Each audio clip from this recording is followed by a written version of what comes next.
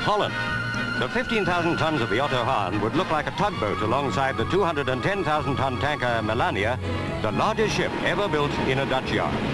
She's over a thousand feet long and because of her size, had to be built in two halves which were then welded together. But taking the supertanker into the North Sea was the trickiest part of the whole operation. The route was along the narrow North Sea Canal.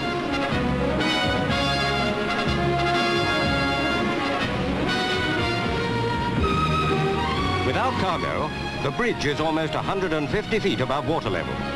Because of turbulence, the Melania couldn't use her own engine. It took six tugs to handle her, and what a job. As she was inched through the sea sluices, there was only three feet to spare on either side. The job was completed without a hitch, and the giant tanker went out into the sea for her trials.